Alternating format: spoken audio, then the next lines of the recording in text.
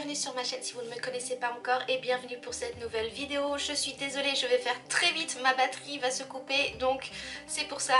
Euh, J'ai choisi de faire ce look avec la palette euh, Pastel Cut et la Set and Thinner de chez KVD Vegan Beauty. Donc si vous voulez voir comment je réalise ce look, vous savez quoi faire.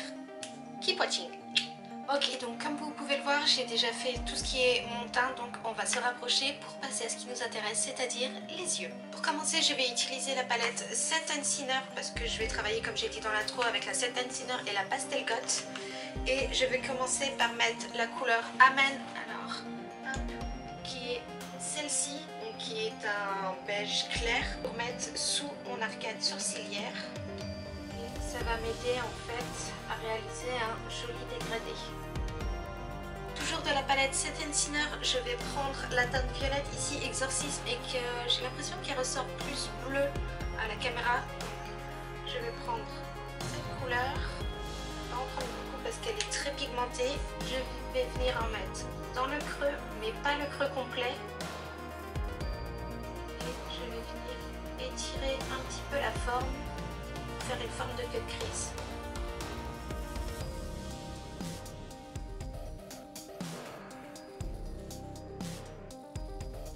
Avec un pinceau un petit peu plus fin, je vais aller prendre, sans mettre les doigts dans la palette, la couleur Exotus, donc qui est ce magnifique vert.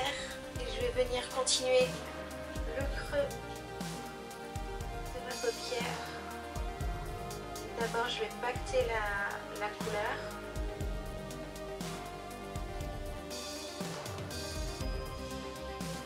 Et je vais venir fondre les deux ensemble en travaillant avec le pinceau précédent.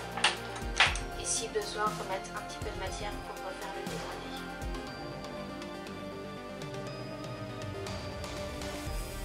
Je passe au-dessus, au-dessous de l'œil et je viens prendre la couleur débile, donc qui est ce orange juste trop beau. Comme je viens de dire, je vais le mettre au-dessous de l'œil. Et je l'étire à l'extérieur. Je passe à la palette Pastel Got et je vais venir faire les dégradés. Donc pour le violet, je vais utiliser la teinte Miu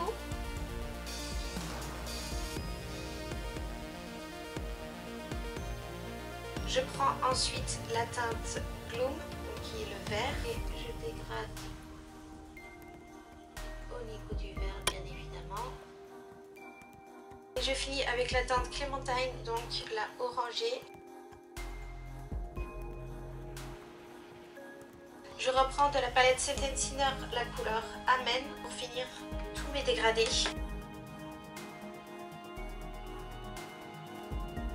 Je vais maintenant nettoyer donc mon cut crease. Pour ça, je prends la de chez Revolution Pro le Conceal and Define en teinte C1.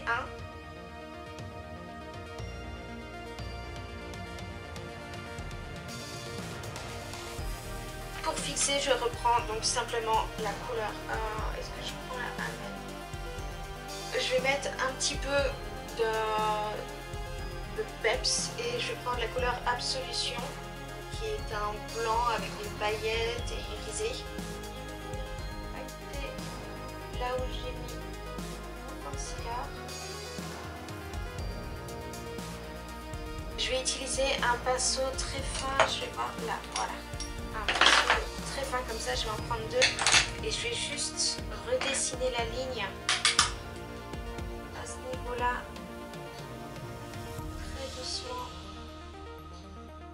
la même chose avec le vert. Je passe maintenant au liner. Pour ça, j'utilise donc mon Serial Liner de chez Nabla en noir. Et on va essayer d'en faire un pas trop épais ni trop fin. Et pour qu'en fait ça vienne à se connecter à peu près à ce niveau-là où le violet se termine et faire euh, s'épaissir un petit peu et ensuite euh, bah, ça finit. Ok, ils ont l'air à peu près pareil.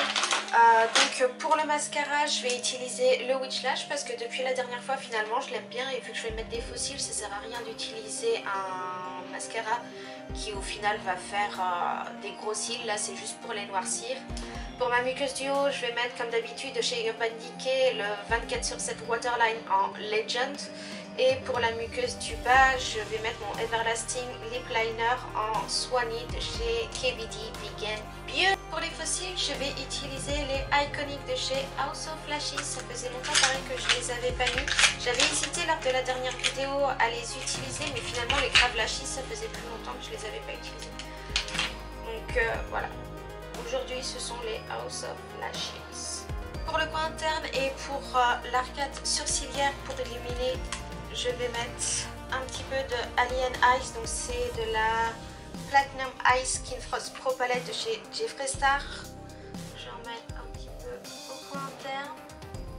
Je choisis le vert pour rappeler un petit peu le vert que j'avais euh, bah, sur ma paupière. Et je vais mettre un petit peu de glacier